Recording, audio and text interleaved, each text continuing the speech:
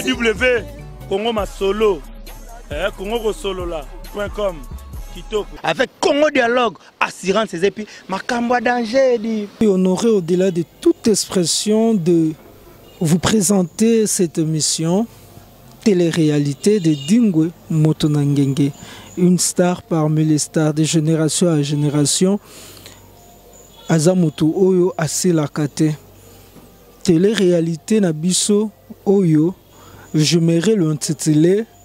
il faut pas juger quelqu'un de loin donc il faut pas kojuge moto na mosika pourquoi je l'ai intitulé il faut pas juger quel,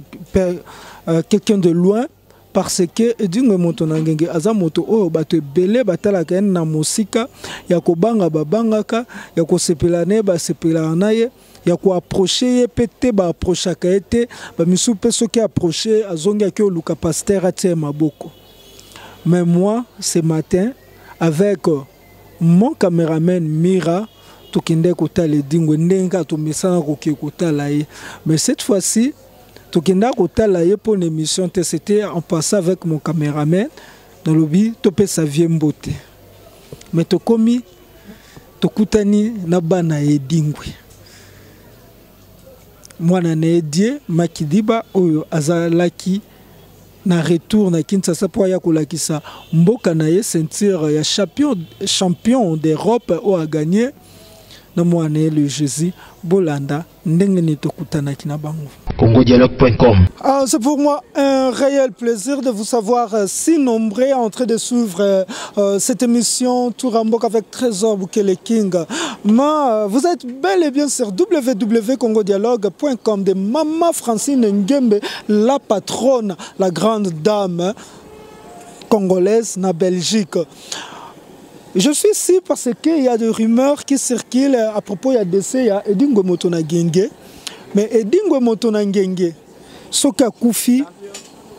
biso toza liboso na ye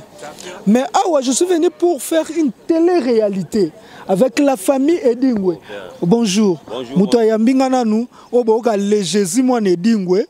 oyo bongo toza na die makidiba oyo eyowa oyo bomoni ke awuti poto donc lelo toza na tele réalité bonjour bonjour bonjour papa kufi te papa kufi te papa azali eza baje na bino te bobomi papa bolamusi ye te eza nde baje ya bato internet baba bandi yango sika nde akomi bikomakoma lanson alepanzani mpeke papa kufi donc tu confirme ozali mwana edingwe Oui, na mona lingwe ya liboso, après nga maki libadi edingwe. Après yo nde ye. Ah, donc yo za yaya yeleki. Ah bon, c'est que siko pourquoi pas yo sale catch otikeli leki asala. Esenga fi bongo ye fa kanga kota ba maître nga fi na kanga kota ba musicien. Donc yo za no musicien. Ya kanga kota ba maestro nga na kanga kota ba ibinga nezala. C'est peut-être la misatu moko nga kanga kota ba tamakolo jogo.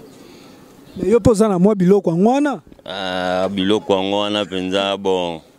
babi mwana nzambe eza kaka nzambe eh, mpo jésus mpe jamais azanga protection sikoyo na orchestre nini obeta eh, epa maestro fabrigas ah, Maestro Fabregas euh, déjà balobaka soki aza moto ya bakisi donc on le confirme mpo omona edingo aluki aluki aluki aluki amoni esika oza alaise ka epa maestro Fabregas sikoyo yo na Fabregas nani na monde wana aza supérieur na monde nini monde na bino wana eh, monde ya nzambe oyo apesaka bino makambo esalama bien eh, monde nyonso eza ya nzambe ti tofandi yo mpe toa na monde yango monde yango yango monde mosusu eza te oyo tokozala naye na fabu gas soki ndenge ni monde yango kaka yango oyo yo azali ngai nazali yo mpe ozali namoni mpe ndeko na ngai azali namoni mpe quadra mpe kota azali kuna kaka na monde yango kaka siko monde yango suka Déjà tu as d'avocat le pafa T'es na drummer. Ah ouais, drummer. Donc moto abetaka drum ya Fabrigas, on vous le confirme aujourd'hui, ti bobinaka. Hey! Boyeba te ezaka biloko ya vie dit na sima nde binisa bino, hein? Donc ti boyokaka o générique, o loboko eningana te, lokolo eningana ka donc drum wana nyonso yo. Eh, nyonso wana ya batempo mpenza batempo magique mpenza lokolo nde wana osalama sikoyo yo fandaka na papa awa to yo otalaka papa bon biso nyonso toyaka otala ye otala papa sikoyo ntango bofanda to bokola na papa kozala mwana edingwe mpo na yo elobelako nini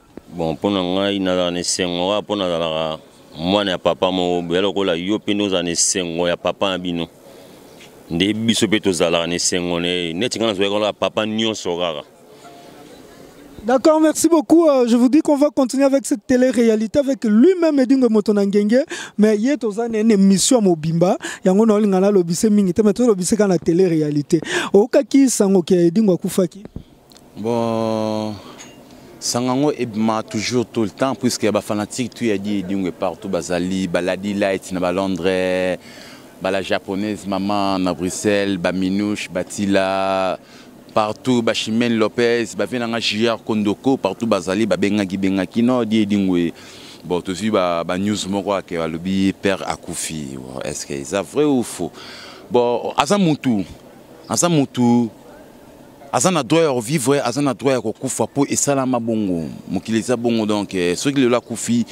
tokopesa kaka toujours bapesaki ye bajour bapesaki ye bajour ba biso aleki na délivrance te akufa est ce que eza te ke bilembo ya liwa wana deja ebandi ko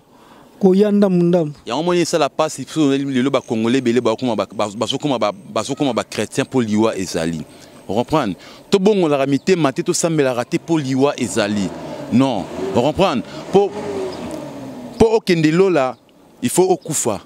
donc mpo mpe okende lifelo il faut okufa donc okokende yango boye te ndenge oza boye donc il faut toyebaka eloko moko kua donc soki lelo edingo akufi bon c'est normal mpo liwa eza eloko moko nzambe asala yango kua tu vois mais oyo apesi ye soki 35 jours soki 30 jours kua ye nde nani kua po aza kaka motu lokola lokola lokola biso quoi soki mpe toyebi tosan charge na ye tokopesa ye mosusu coup de jour ye nde motu ok merci beaucoup nalingi aloba mingi te aloba mingi te mpo aye vraimen toza na émission moko na ye mpo aye aza na makambo na ngai na ya bato internet mpo ye moto aosalaka bato babenga nga trop na makambo ya oluka papa mwa bambote no mpo biso leo totambola na papa na Makidiba ye moto aza na honneur retour ya nini mwa bambote na yo mpo biso tocontinue bon bambote na ngai napesi na moto nyonso oyo asoutenir Makidiba mpe oyo alingaka biso famille Dingwe napesi na moto nyonso mbote na bafani nyonso oyo bazali bazulu ye Dingwe oyo nyonso atangami foli mbulungu moto nyonso na pesi pe ya Guillaume ngango tozali mbote no na sepeli mingi wa bonne journée na bino merci beaucoup congodialogue.com ezalaki mbala liboso ya ngai ya kosolola na le jesi oyo azali mwana ya liboso ya edingwe moto na ngenge fils aine mais mpo na diema kidiba ezalaki mbala liboso te eloko elekelaki ngai epai ya le jesi ezalaki découverte oyo nasalaki nayaki koyoka pour la première fois que le jésus azali drumere na orchestre ya fabrigas na villa nova ah yango naki kocomprendre sikoyo pourquoi edingwe akotaka te na rankine ya karine mokonzi na fabrigas soki otuni ye concernant rancune wana réponse ne ezalaka kaka esika babandaki makambo na bango nayebi te basilisa yango ndenge babandaki lelo oyo naye kocomprendre que edingwe moto na ngenge soki akota makambo wana te c'est parce que fabrigas aza patron ya mwana na ye fils aîné na ye oyo ezali le jésus aza drumer na villa nova mpe karine mokonzi azali ndenge ye moko edingo abengaka mopanzi na ye moto na ye pure na ye donc euh, makambo wana il faut pas akota yango aza mosika me na ye lisusu komituna ti bato babukaka nzoto na miziki ya fabrigas nzoki edingwe moto na ngenge azalaka na nsima mpo mwana na ye aza ye edingwe toyebi bien ke alingaka bana na ye tu bayeba makambo oyo asalaka oyo abengaka yango bokoko mayele ya bakoko soki bosatan to bonzambe ye moko moto ayebi seke mwana na ye na drume na nsima ti bobinaka ezalaka biloko ya vie edi nde moto ebinisaka bino mais après wana edingo moto na ngenge asengaki tokende kotika ye na émission epai ya eliezer mpo azalaki na émission kuna aconfirme ke akufaki te par rapport ya barumeur oyo esirkilaki ke edingwe moto na ngenge akufi tolanda nde tokendaki congodialogue.com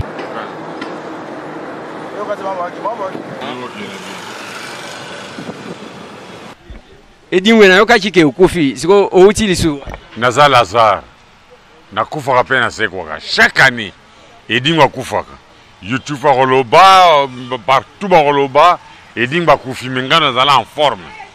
ozali en forme seke yo moko moto otyaka biloko wana na facebook mpo na kozwa mwa onction to eza makambo ebimaka ndenge nini en tout cas nayebaka yango te moto na ngenge tomoni oyo atelemi oyo eza nani oyo mwana na ngai ya suka mpo naza na bana mibale mwana na ngai asuka baki na landa mosala papa na ngai asalaka akosala kachi aprendre kachi awa na tindi na poto pour kakende pe chance nzamba nzambe na biso tokumisaka asalisi biso mwana twi ceinture yango wana aye kolekisa bana mboka mwana na yo ya suka nkombo nena nkombo na ye dieu edingwe ye pa catcher azali catcher lokola nga papa na ye pona nini bon azosala kache ya kache ya solo ou bien opesa ye ka banimero mpo ke asalaka banimero non azosala mpenza kache soki kombe eyali 10 minutes 5 minutes ya kisi 5 minutes ya véritable kache edingo est ce que oza normal yo tata mobimba okende kopesa mwana kisi ozomona yango normal ata ndenge ozoloba wana ozwi mpenza mwana na yo opesi kisi est ce que ozomona yango normal aboma na mokili oyo aboma moto moko te Bongo akima kaka nde? Non, akimaki te akendeki nde koapprendre. Abomaka te. Abomi nano moto moko te. Tangelaka moto oyo abomi likolo ya ring. Akenda nde mpo na kosepelisa bato. Sikoyo yo oboma bato combien? Nga naboma ebele soki na mokolo nga nakende cimetière kuna kutu bakokanga ngai mpo bazelaka mpenza kozela bato nyonso to nga na ntina na cimetière nabangaka kutu kokota cimetière parce que soki moto akufi nga nakendeke meme cimetière te nakende na tombo te kotala o oh, nakende otika moto na simeta nakende mpo nabangaka mpo makambo ngai nasali eleki minene mokolo ngai nakokóma na cimetière lokuto ngai nakozwa ekoleka kuto tozwaka na mokili awa voilà uh, bandeko balandi eza edingwe aye na mwana na ye bisika aye awa bongo ceinture wana oya kotikela biso awa oza kaka na yango obie basi babotola yo ceinture eza kaka na ndako nani akozwa yango kutu mwana mwana yesu na mosusu nga papa na du ceinture ye ba du ceinture tozonoka bakatiere awa boye te bakendeke na grand libulu kosasa baceinture bana banini ke ngai na bimi champion chaque année ntango soki omona 10 champion bakatiere batonda na baceinture wana likambo mosusu kosalisa yango na libulu awa na grand libulu awa na barumbu je mbote mm, mbote papa eliezer bon retour na mboka oye mokolo ouais nakomaki depuis vendredi le, le 27 juillet donc naza na kisasa oti bruxelles ouais naoti bruxelles donc naoti bruxelles paris omoi ete kutu manager na nga aza vraiment boss te boss riche tempes donc editv ok tozomona yo na ceinture epuis na coupe eza bitumba obundi na mboka mopaya ou bien oke kosalisa mpe na libulu ndenge papa na ya koloba non puiske omoni bana poto bazali na poto tofifaka na monde ya internet youtube donc soki obundi lelo mbala moko ekoti na youtube donc bakatiare oyo baza na poto kuna okoki kobenga bango nyonso Na beti bango nionso tout. Eza na YouTube oyo aza na tembe abeta catch die edingwe. Awamona ba image presque tout. Donc ba catcheur manager aza, ce n'est pas pour rien aza awa. Donc oyo yango eza make eh, coupe na nga nazwaki oyo première coupe nazwaki oyo eza ceinture nabetaki Dom Taylor aza anglais autaki londres mais tobundene na kati ya, ya bruxelles quoi donc eza na kati ya ba youtube partout donc tokokosa te tokoki kokosa te kua tokokosa te naza ma champion de edingwela locomotive qui filme oui donc ok locomotive qui filme il faut la locomotive qui filme quoi donc la locomotive qui filme mm. donc la locomotive qui filme la locomotive ki film donc yango eza donc mundele ayebi babetama donc naoluka bango baya olingi olakisa kitisa na motu te yango wana kaka ozomona papa eliezer na biso ke bango nyonso tu baya baya donc bango nyonso tu baya oyo tu babungelaka papa na ngai edingo moto na ngenge baoyo tu bagafaka mpo na ye donc nauti kuna na europe nabeti bango nyonso ke bango nyonso oyo akutanaki na ngai abetamaki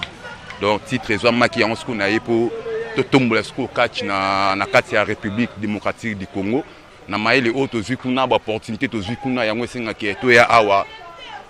tofongola to je kua voilà mais awa tosi toyamba bato ebele awa bazalaki kokanela papa na yo balobi vie wana sila na ekala akanga ceinture lokola eh, akomisa yango eloko na ye donc tokobeta ye tokosilisa ye bakachere bazaka meme mwa ebele awa yo olobi nini ndenge oye awa bon toutefois ndenge tolobaka edingwe moto na ngenge amibota donc baza wana bayebi edingwe moto na ngenge vraiment amibota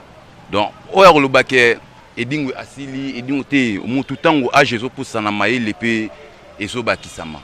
donc ndenge aza wana force mpe ezobakisama mpo année prochaine 70 ans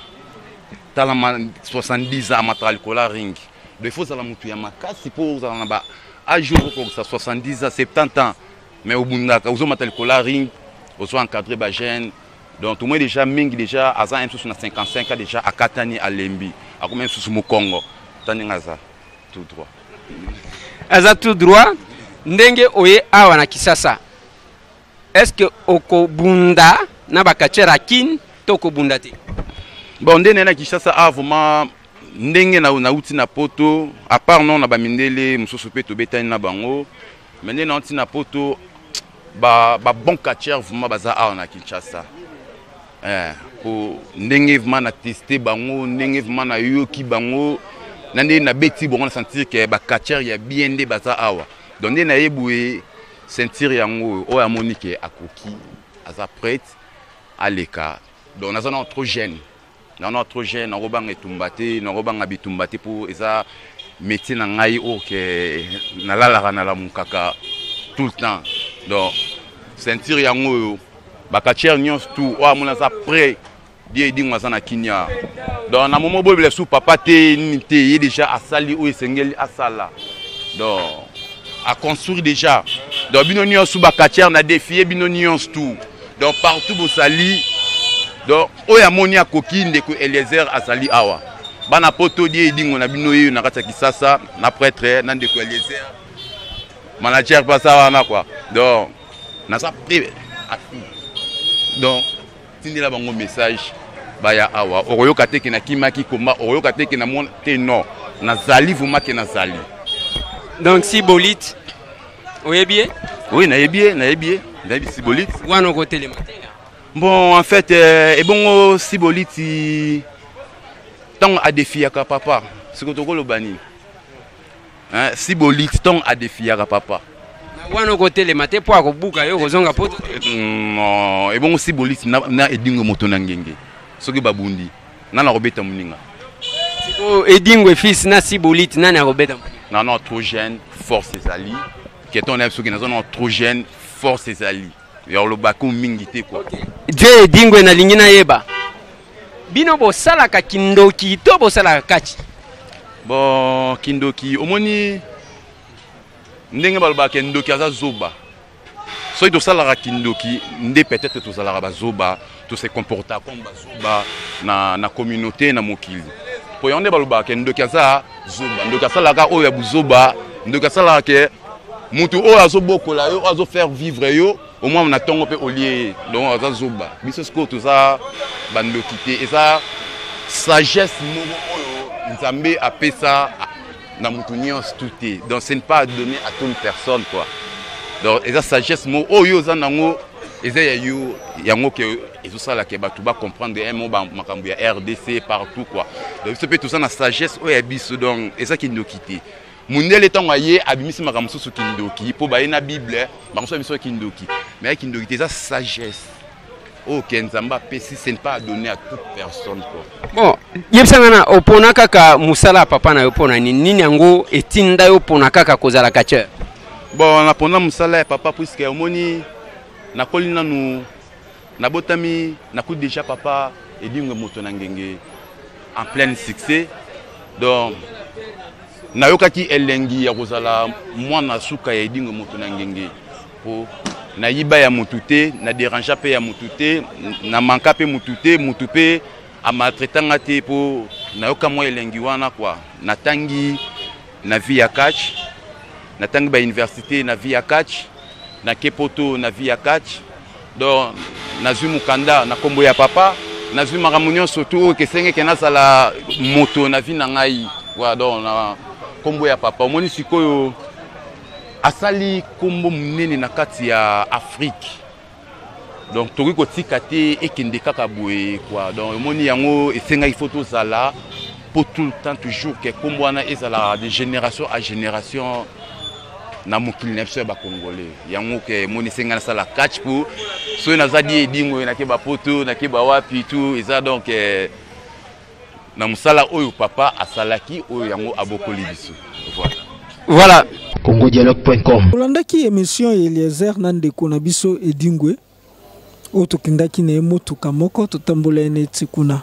me bato batondaki bato baki koluka nini nazalaki curie ifale na interroge bato boyoka nini bato balobaki a propos ya edingwe bato mosusu basepelaka na edingwe ndenge azalaka boyoka maloba ya bato congodialogue.com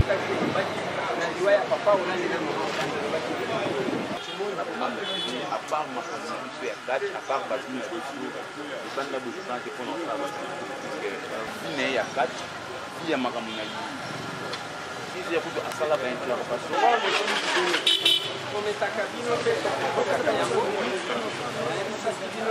Comme vous pouvez le voir, euh, nous sommes devant le bureau de Tokomi Wapi Yandeko Eliezer, Batou Batondi, Batonde Linini, Edingwe Motonangenge, mort vivant. Est-ce que Zagi G à Mamo Langi Yangope, Edingwe Lingi Asala Biso, Tonini, Akufi, Alamu Kito, Akufaki,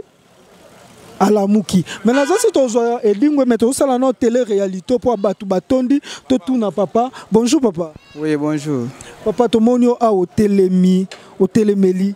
nani bon ngai natelemeli moto te natelemeli nde moto na ngenge omoni edingwe yango otelemi bon namoni ye mpo tozalaka na ye ndeko telemeli moto na nge sikoyo toyokaki ke edingwe moto na ngenge akufi radio kapi meme eannonce ke edingwe moto na ngenge akufi yango ntango tomoni ye na biro ya eliezer tambwe bato batondi estce bino babozalaka na edingwe akufaki to akufaki te bon oyo elobi ata ye moko amibengaki aza lazare donc chaque année ye akufaka kaka chaque année ye akufaka biso mpe d'après biso nde tofandaka na ye bainfo yango esalaka biso bien eza kaka toujours lokumu ya papa na biso nde tosepelaka ke oyo akufaki akufaki esalaka biso mokizu apesaki ye 35 jours ya défi obaki soki ake te badelivre ye akufa bino boza sur te ke bamakambo oyo ezobenda da liwa ya edingwe mpo na 35 jours wana tomona edingwe aza te bon balobi ke l'homme propose dieu disposa ye aproposaki me makanisi ya nzambe toyebi te ye aproposaki makanisi ya nzambe toyebi te ye alobaki ke apesi 35 jours me tozela 35 jours yango mpe papa repondaki eke ah, bakutana na stade me ye ti lelo na stade yango azoya te me papa aza d'accord azozela eke bakutana na stade adelivre ye donc plein à craquer awa nde toza boye na itaga mira kinzi donc zwelanga bato tele réalité biso moko edingwe moto na ngenga ya biso biso zwa congo dialogue zwanga banda na palais toke pa eliezer tozonga toye na motuka bonjour papa bonjour tomoni yo otelemi awa edingwe moto na ngenga ye otelemi edingwe moto na ngenge asalaka ono ndeni soko en tout cas nga naza mwana matete oza mwana matete eh. bo awa yo osala botene matete lokola nakaki edingwe azoya awa yango esengai mpo naya mpo namonaka katie mosunga akokumisa na congo apart ye te parce que nakoti bakatch ebele kaka ya edingwe meme ntango nayaki na bavoyage kaka edingwe kaka en tout cas nandimaka ye apart ye namonaka katie mosusu te omona teke bino bato bopesa ye motu makasi asala nini atelemela bapaster mpo ata bokumisa ye bapaster mpe baopesa ye defi azotya motu makasi boye ntango atondisi bato boye omona te ke dingwe moto na ngenga otika kisi te mais déjà ntango moto atondisa bato fo ndima ye eza lokola ndenge bemba ayaki bato nyonso bandimi ye ntango oza déjà population ezolanda oseke oza moto oyo population azondima ozomo yango ngai mpe na saint edinga namonaka katie mosusu aza te mais ntango oyokaki edingo akufa esalaki yo ndeni Ah, namonaki yango lokuta parce que eza première fois te baloba oyo edingo akufi oyo oh, bakatie yango baye mpo baboma edingo me bakokaka kaka te parce que ngai nayebi edingo ebanda ngai kutu nazalaki na omwana moke omoni na namona na place moto abeti edingo aza te hmm? donc mpo na yo ntango omoni sikoyo edingo akompagne na mwana ye oyebi mwana na ye wana en tout cas mwana wana tokoli ne na matete die tobeti ne babale na ekole anunga wana ndeni botiki akoma mpe moto abakisi me ngai nasepeli parce que moni ntango deja mwana azozwa deja poste ya papa eza malan parce que lelo lelo tosuetaka te liwa mpe yaka edingo akokende toyebi ke edingo mosusu atikali ozomona oyo ezalaki so edingo lelo aza te mwana mpe azali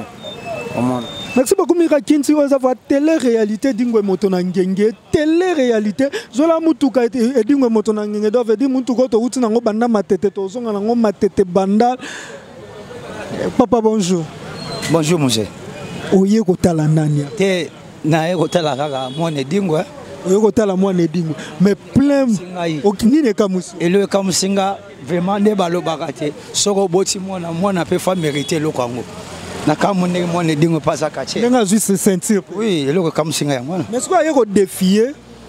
bakatiere na bapastere oyo baokandela ye parce que mokijo atindelaki maloba apesa 35 jours soki abongwani te akokufa ne dingwe na mwana na ye sikoyo mpo na yo na eloko wana oloba nini bon mpo na ngai moto alakisi misala ne polele ye moto tokolinga ye parce que mystike oyo ebombami na oyo ebimi polele tosepela na moto oyo abimisi mystike polele adabo osepela na edingo mpo abimisi mystique polele par rapport ya bapaster oyo bazobomba oui oui Parce que Dingo azaka vérité parce que alobi bien. epane na ndako na ye basepela na kisi sikoyo bapaster baza bahypocrisie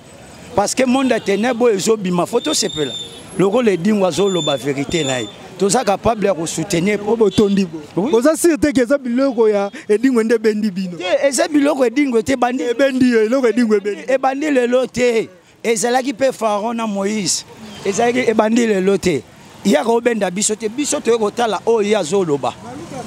oyo ye azoloba ebandi lelo te oyo azoloba esepeliso wi ezosepelisa ngai parce que azoloba verité yango nde nasepeli eloko epesi ngai plaisir abi na ndako na ye bango nyonso bazali bato ya bakisi sikoyo paster oyo azoteya aza na biloko ma ye na komba jésus sikoyo tosepelana na tosepela na oyo aolobela biso verité d'autre part mogiso azali komibomba azo komibomba d'autre part verité ya tenebre eyebanaka na motema yango omoni te vraimen naza likambo aloba eza te Merci beaucoup, merci beaucoup, merci beaucoup. Ah, c'est pour moi un réel plaisir de vous présenter cette télé-réalité de Dingwe Motonangenge avec Eliezer Tamboué. Ah, papa na biso eliezer tambwende bozomona plein plein plein plein à craquer tokocontinue na tele réalité oti suka mira kinzi zwela nga vraiment zwela nga baimage yango merci congodialogue.com émission esili topesani mbote na bato nyonso Est-ce que tokotikala epai Eliezer Tambwe Edingwe moto na ngenge ayebisi Makidiba kumba motuka bozonga na kati ya motuka ngai na cameraman tozonga na kati ya motuka Edingwe azoki ekosala biso nini tozongi na kati ya motuka ndenge bozomona wana tokei Eloko nini Edingwe asalaki biso na sima?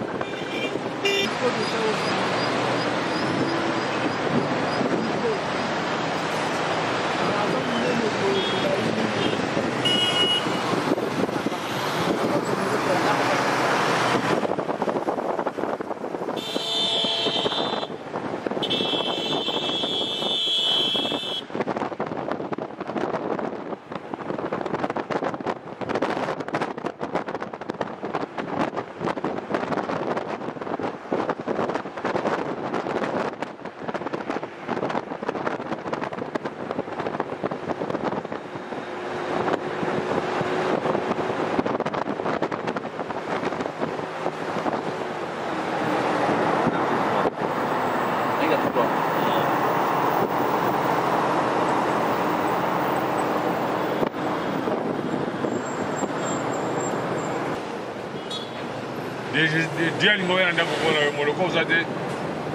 tosala émission sana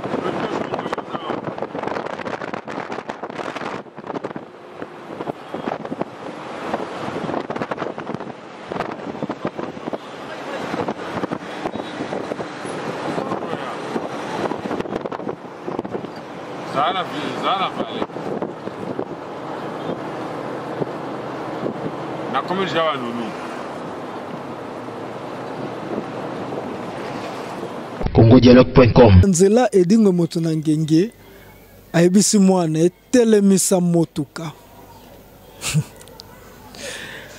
Atelemisi motuka. Edingo abimi, Père Petit na ye abimi. Nini elekaki? Mpo na kati ya motuka tozalaki Edingo moto na ngenge,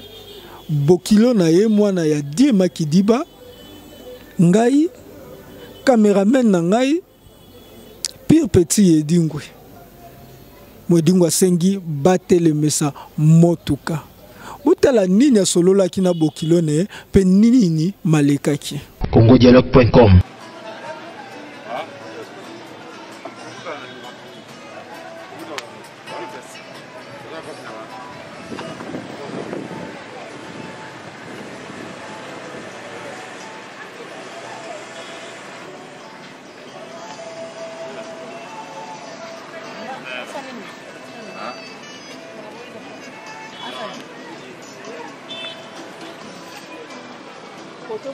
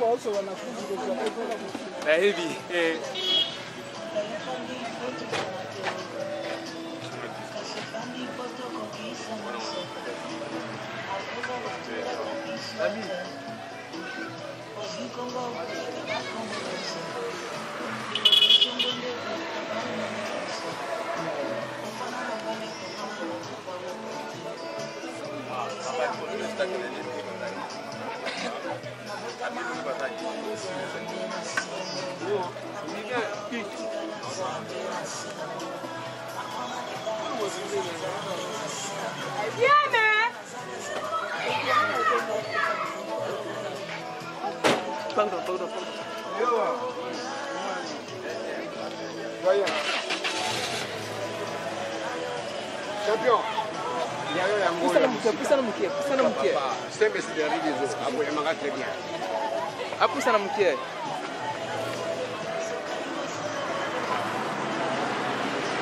congodialogue.com tokei na diema kidiba ti na ndako nde bongo tele realite na biso ya mokolo wana esukaki wana edingwe azali moto oyo soki bato baaproche ye meme na aveni oyo afandi bato ebele batalaka yango mwana oyo ti azokɔta na ndako ya edingwe ayebi ke oyo eza edingwe to eza edingwe te obie bato baoyokelo ye mawe ta mwana oyo nde aki otika vi na ye eske eza ya solo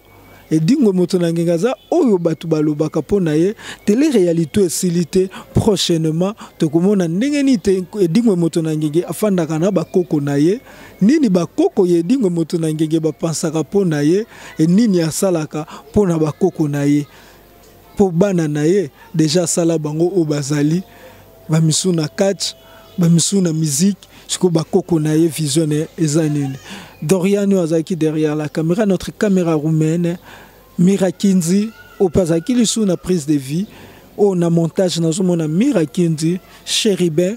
Maman Francine Ngembe avec Congo Dialogue Télévision, toujours Liboso, Tokutani prochainement.